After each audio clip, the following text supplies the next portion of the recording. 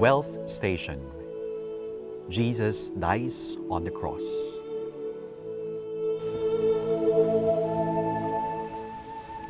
We adore you, Christ, and we bless you because by your holy cross you have redeemed the world. A reading from the Gospel according to St. John. After this, Jesus, knowing that all was now finished, said to fulfill the scripture, I thirst. A bowl full of vinegar stood there, so they put a sponge full of vinegar on hyssop and held it to his mouth. When Jesus had received the vinegar, he said, It is finished. And he bowed his head and gave up his spirit. Isa ho sa sikat na awitin na OPM o Original Pinoy Music ay ang awitin na kinanta ni Gary Valenciano. Isa ho itong spiritual religious song. At sinasabi at tinatanong ho ni Gary Valenciano, natutulog ba ang Diyos? Natutulog nga ba talaga ang Diyos? Tayo ho, kuminsan eh, sinasabi natin ilang beses na ho tayong nagmamakaawa you know, o kaya nananalangin sa isang uh, special intention pero parang out of coverage area si Lord. O kaya ang pag-uusap ng dalawang kaibigan. Binigay ko ang tiwala sa iyo pero parang inindian mo ako o iniwan sa ere. Mga kapatid, maging ang ating Panginoong Yesus na naging tapat sa kanyang Ama, e naranasan rin ho sa kanyang panalangin at pananampalataya sa Ama. Sabi niya, Diyos ko, Diyos ko, bakit mo ako pinabayaan? Hindi masasabing kompleto ang ating buhay kung walang sandali ng pagkalito o pagkabigo.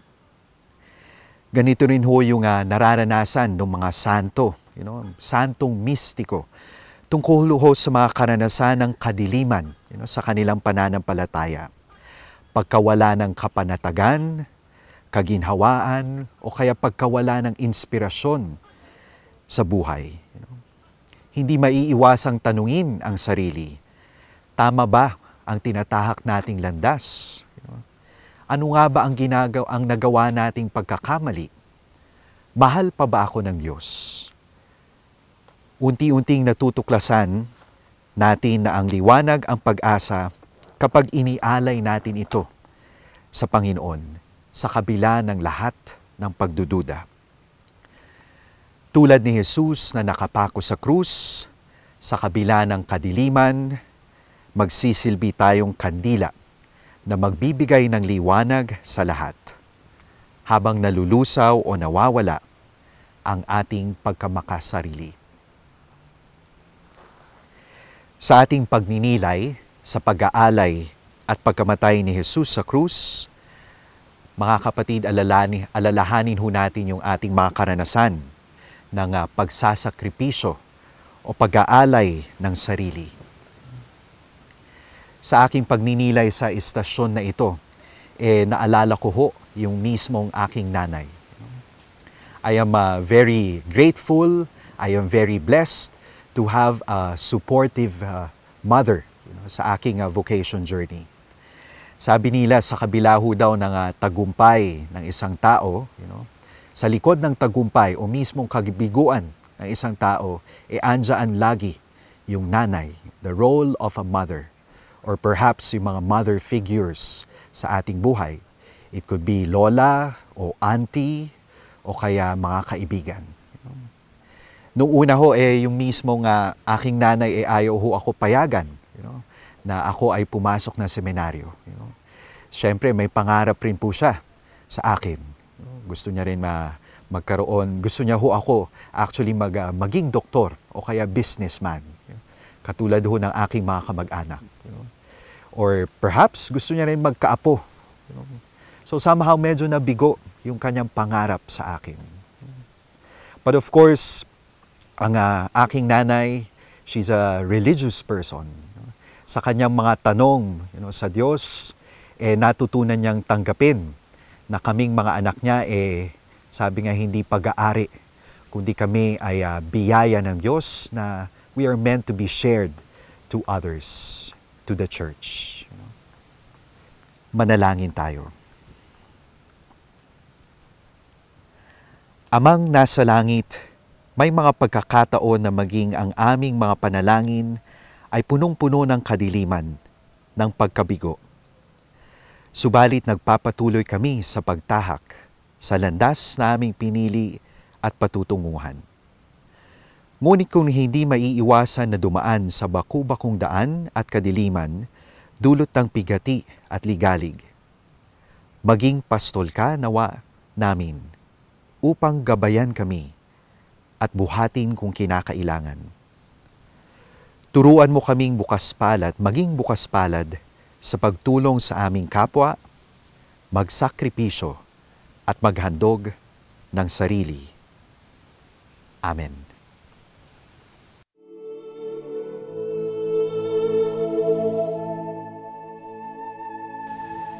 Jesus crucified, have mercy on us. The 13th station Jesus is laid in the tomb. We adore you, O Christ, and we bless you because by your holy cross you have redeemed the world.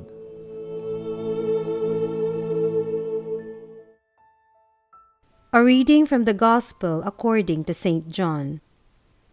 Joseph of Arimathea, who was a disciple of Jesus, but secretly, for fear of the Jews, asked Pilate that he might take away the body of Jesus, and Pilate gave him leave. So he came and took away his body. Nicodemus also, who had at first come to him by night, came bringing a mixture of myrrh and aloes. They took the body of Jesus and bound it in linen cloths with the spices, as is the burial custom of the Jews. Now in the place where he was crucified there was a garden, and in the garden a new tomb where no one had ever been laid. So because of the Jewish day of preparation, as the tomb was close at hand, they laid Jesus there. Si Jesus namatay. Kailangan ng ilibing matapos ang kanyang mahaba rin naman na paghihirap. Alam niyo po, ito'y isang napakahalagang bagay sa kwento ng pagiging tunay na tao ng Panginoong Hesus. Siya ay Diyos na totoo, ngunit tao rin namang totoo. At alam niyo po, marka, bahagi ng pagiging tunay na tao ang pagdaan sa pagsilang at pagkakoroon ng kamatayan. Sabi nga nila, the moment ang isang tao ay isinilang, nagsisimula na rin po ang countdown niya patungo sa kamatayan.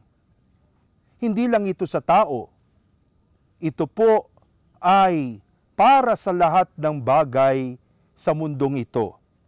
Kaya nga po ang tawag po natin sa buhay sa mundo ay mortal.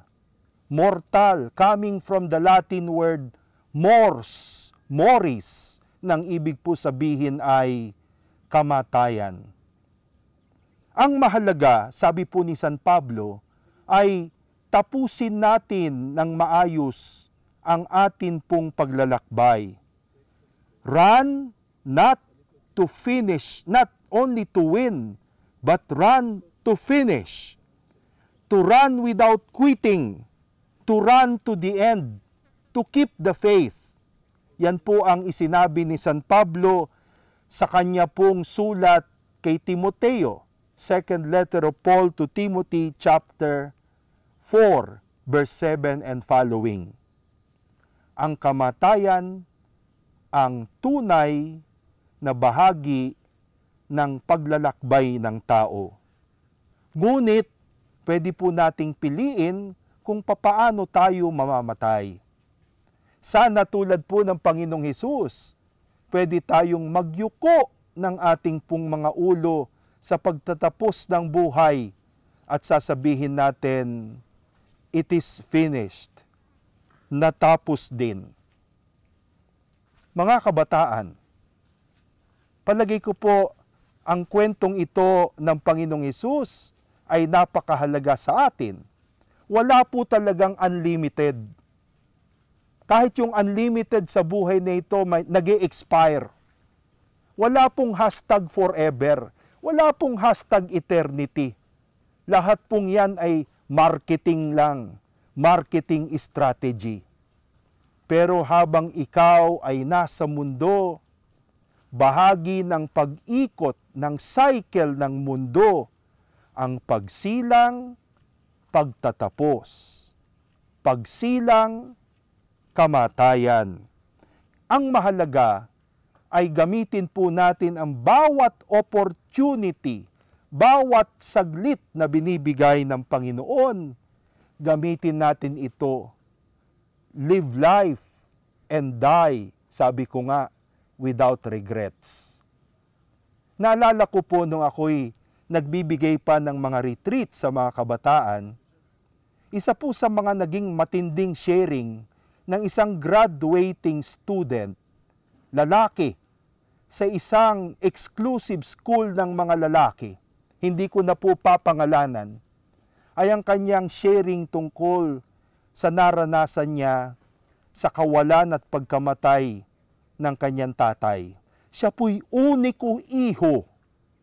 At he took it for granted na sapagkat siya'y anak, siya'y uniko iho, araw-araw, siya po'y inihahatid ng kanyang tatay sa eskwelahan bago pumasok ang tatay sa kanyang trabaho. One day, ganun din po, inatid siya, yung tatay niya, nagpaalam sa kanya, humalik din siya sa tatay niya, hindi niya sukat akalain na yan na po ang huling pagkikita nilang masigla at buhay ang kanyang tatay. Habang siya po ay nasa eskwelahan, nag-e-exam, tinawag siya ng kanyang class advisor at sinabihan siyang kailangan niyang pumunta sa isang ospital sapagkat may nangyari sa kanyang tatay. Pagdating niya sa ospital, nandun na rin po ang kanyang nanay. Yung kanyang tatay pala ay nagkaroon ng massive na atake sa puso. Kailangang operahin upang piliting isalba. Ngunit ang nanay niya ay medyo mahina. Kaya siya po ang pumasok sa operating room upang tignan ano ang kalagayan ng kanyang ama. Nakita niya po na nakalabas ang puso ng kanyang ama. Pinipilit itong ayusin ng mga doktor. Ngunit sa dulo ng lahat, nakita niyang dahan-dahang nawala ang pintig ng puso ng ama niya sa operating table. Sabi niya nung kami nagre-retreat, isa lang po daw ang kanyang regrets. Hindi niya nasabi sa tatay niya, Tay, mahal kita. Tay, napakahalaga ng iyong mga ginagawa sa akin. Gustong gusto ko yung inihahatid mo ko araw-araw. Salamat. Pero huli na ang lahat. Hindi niya nasabi ang mga simpleng bagay na yon. Mga kabataan, wala pong unlimited. Habang may oras, gamitin natin ito ng maayos at tulad ni Kristo, nawa masabi natin sa dulo, it is finished. Hindi po yung finished or not finished pwede natin sabihin talaga, it is finished there are no regrets. Amen.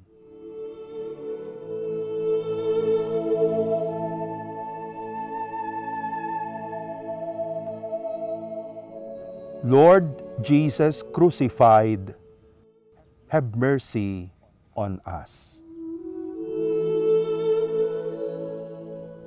The 14th station, Jesus rises from the death. We adore you, O Christ, and we bless you.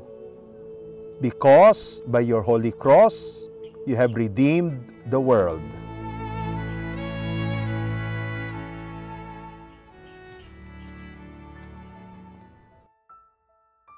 A reading from the Gospel according to St. John. Now on the first day of the week, Mary Magdalene came to the tomb early, while it was still dark, and saw that the stone had been taken away from the tomb. So she ran and went to Simon Peter and the other disciple, the one whom Jesus loved, and said to them, They have taken the Lord out of the tomb Peter then came out with the other disciple, and they went toward the tomb. They both ran, but the other disciple outran Peter and reached the tomb first. And stooping to look in, he saw that the linen cloths lying there, but he did not go in. Then the other disciple, who reached the tomb first, also went in, and he saw and believed. si Jesus ay nabuhay mula sa kamatayan. Aleluya! Ito po ang atin pong isineselebrate tuwing linggo, ang muling pagkabuhay ng Panginoong Hesus. Kaya nga po kakaiba ang misa ng linggo para po sa bawat Kristiyano. Para po sa atin, sa kanyang kamatayan, Sinira ni Jesus ang kamatayan, ngunit sa kanyang muling pagkabuhay sa ikatlong araw, ibinalik ni Jesus ang ibig sabihin ng buhay. Ang luwalhating ito, ang muling pagkabuhay na ito ng Panginoon ay hindi lamang po para sa Kanya, kung hindi ito'y para din sa atin, sapagkat tayo'y mga tagasunod ng Panginoong Heso Kristo. Ano man ang pinagdadaanan ni Jesus, ito rin ang ating daan. Ang misyon natin kung ganon ay isang misyon na kung saan ang huling kataga ay hindi po kamatayan, kung hindi kaligtasan at walang hanggan. Sabi nga po ng Apostol Pedro, sa 1 Peter chapter 2 verse 24, by his stripes we are healed. Sa pamamagitan ng kanyang mga latay, tayo'y nagkaroon ng siguradong atin pong kagalingan. Mga minamahal kong mga kapatid, lalo-lalo na po ang ating mga kabataan. Lahat po tayo dapat nakikita natin ang halaga netong muling pagkabuhay na ito ng ating Panginoon. Ito yung tinatawag po natin na rock of our faith. Kung tayo man sinasabi natin na ang Kristiyano ay Alleluia people, kung tayo man palagi nating sinasabi, huwag kang mawawalan ng pag-asa, umasa ka palagi. Ito po ay hindi lamang good vibes, hindi lamang ito sinapsychologize natin ang ating sarili, kung hindi ang pundasyon ng ating pagsasabing ang bawat Kristiyano ay palaging may pag-asa, ay ang katotohanan ito na si Jesus ay hindi po nanatiling patay kung hindi siya'y nagwagi mula sa kamatayan at mula sa kadiliman ng libingan. The resurrection of Christ, brothers and sisters, my dear young people, shows to us that Christian hope and Christian dreams are not a myth. Hindi lang po ito katha, hindi lang po ito gawa-gawa, hindi lang po ito kwento-kwento, hindi lang po ito psychology. Christian hope is real because the risen Christ is real. At si Kristo ang ating sure foundation na hindi pwedeng manlinlang at hindi pwedeng linlangin. Alam niyo po, isang napaagandang bagay siguro sa mga kabataan ang tanungin, sino nga ba si Jesus para sa inyo? Ano ang inyong paningin, pananaw kay Jesus? Alam niyo po, nung ako'y bata-bata pang pari at medyo pang may mga buhok, isa po sa mga ministry ko ay pagbibigay ng mga retreat sa mga estudyante. Ngayon hindi ko na humagawa yung kasi ang hirap pong sabayan ang energy level ng mga estudyante. Medyo mahirap pong i-motivate ang mga estudyante sa retreat. Unang-una sa mga Catholic school, ang tingin ng mga estudyante dito ay yearly requirement o requirement upang ikaw ay graduate. Ang tingin nila dito ay class excursion. Kaya nga po, sa gabi, hirap na hirap ang mga teacher at mga chaperon nila. Medyo mahirap na pong sabayan ang level na yan. At kung ikaw ay nagbibigay ng talk, alam nyo po, napapansin ko, hindi mo sigurado kung nakikinig sa iyo yung bata o hindi. Ho? Minsan para bang ang tingin sa iyo ay blanco. Ha? Parang kamerang blanco na nakatutok lamang sa iyo ngunit malayo pala ang depth of field. Oh? Pero alam niyo po, isa palaging touching moment sa retreat ay kapag nagpapa-sharing na ako. Kasi alam niyo, ginagawa ko po, kapag sharing na ganon, akin pong inilalatag sa gitna ng circle ng klase ang isang malaking krus. At sabi ko palagi sa mga estudyante, yan, si Jesus, kausapin nyo siya bilang kaibigan, bilang big brother, bilang Kuya Jess. Alam nyo po, nakakatouch. Pero marami sa mga kabataang ito, yung hindi nila maibulalas sa kanilang mga small group sharing, yung hindi nila mailabas sa kanilang mga guidance counselor at mga class advisor.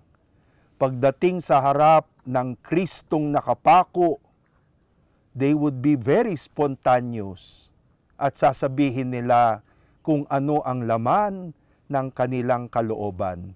At palagi mong maririnig, ikaw lamang, ikaw na lang ang aking pinanghahawakan. Ang ganda po, di po ba? Pero totoo po yan. Sa nagbabagong mundo natin ngayon, lalo na sa inyo mga kabataan, napakaraming challenge napakaraming demands. Sino si Jesus? Totoon totoo para sa iyo.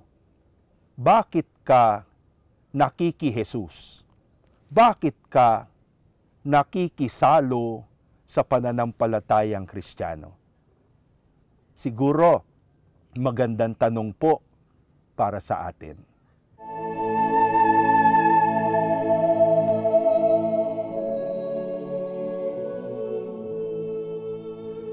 Lord Jesus, crucified and risen, have mercy on us.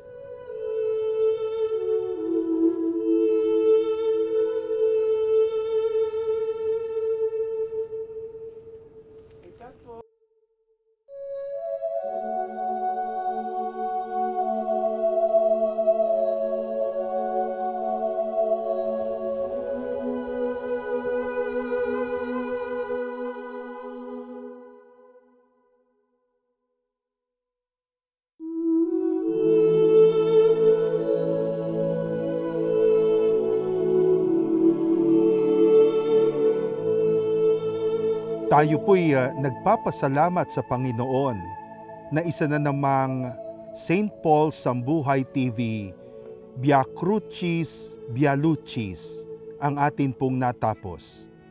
At syempre po, bago tayo manalangin, tayo muna po ay uh, magbabahagi ng atin pong uh, iba't ibang mga insights.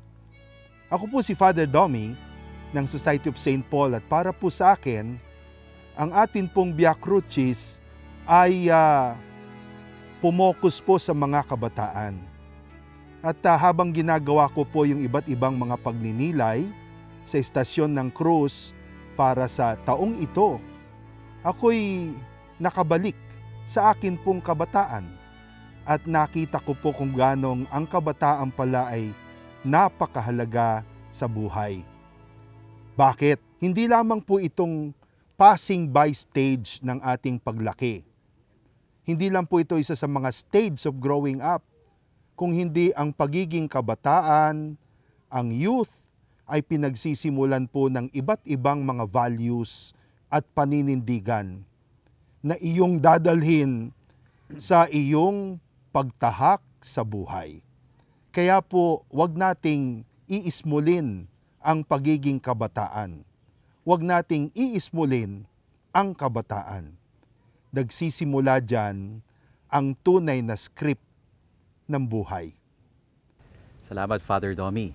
Naalala ko ho yung sinabi ng ating mahal na kardinal na si Luis Antonio Tagle karaniwan ho daw nating comment, maririnig na comment o critic uh, ukol sa mga kabataan natin ngayon ay sinasabi, they are different and they are a lost generation. Sabi ho ng ating mahal na kardinal, siguro ma- mainam na tanungin rin natin, are they really lost or have we lost them? Ang ating pong simbahan, sinasabi ho natin isang uh, ina, isang magulang, the Holy Mother Church, na patuloy na gumagabay sa paglago natin sa pananampalataya.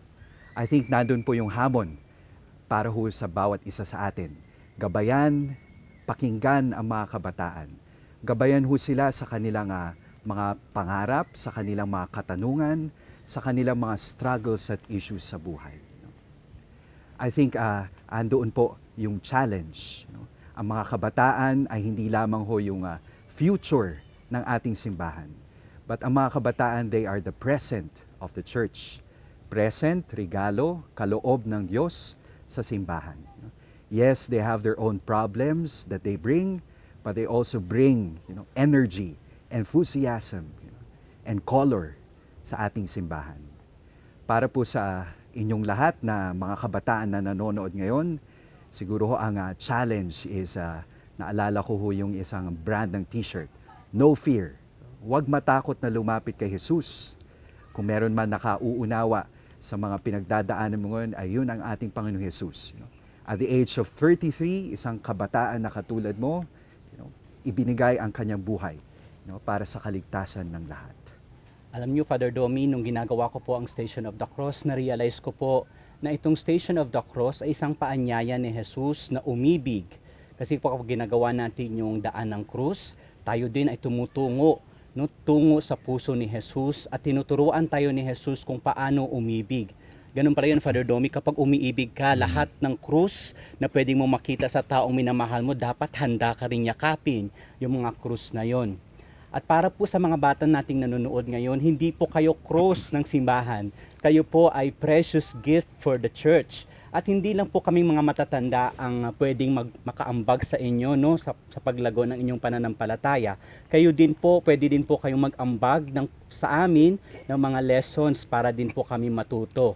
Alam niyo, Father Domi, isang one time po tinanong si Pope Francis kung paano daw tayo, uh, paano daw natin matuturuan yung mga bata in front of violence and cruelty in the world.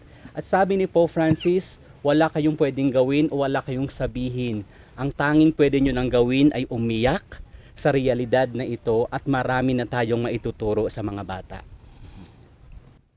Sa ngalan po ng St. Paul Sambuhay TV Biarluchis Biacrucis 2019, ako po si Father Domi Guzman, SSP.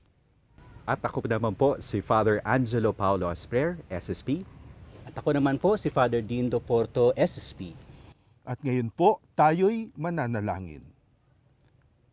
Panginoong Heso Kristo, kami nanalangin sa landas ng krus.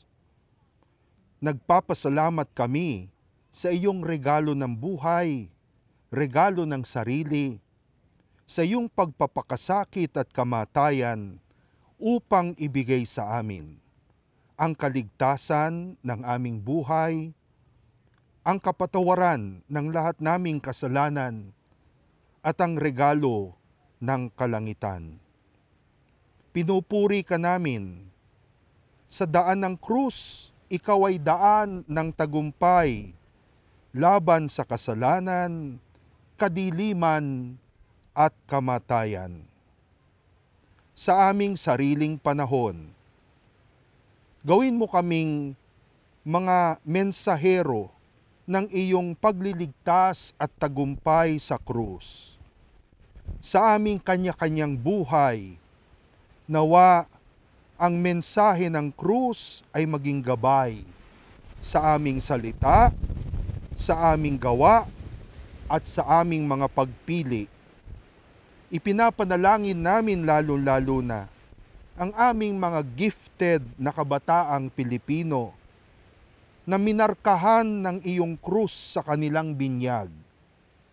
Nawa ang iyong krus o Jesus maging lakas at buhay nila pang magpakailanman. Amen. At ngayon naman, ipanalangin po natin ang intentions ng ating Santo Papa, si Pope Francis. Our Father, who art in heaven, hallowed be thy name. Thy kingdom come, thy will be done on earth as it is in heaven. Give us this day our daily bread, and forgive us our trespasses, as we forgive those who trespass against us. And lead us not into temptation, but deliver us from evil. Amen. Hail Mary, full of grace, the Lord is with you. Blessed are you among women. Blessed is the fruit of your womb, Jesus. Holy Mary, Mother of God, pray for us sinners, now and at the hour of our death. Amen. Glory be to the Father, and to the Son, and to the Holy Spirit. As it was in the beginning, is now, and will be forever. Amen. At sumainyo ang pagpapala ng ating dakilang Diyos, Ama, Anak, at Espiritu Santo. Amen. Ito na naman po ang isa na namang Sambuhay TV, Via Crucis, Via Lucis.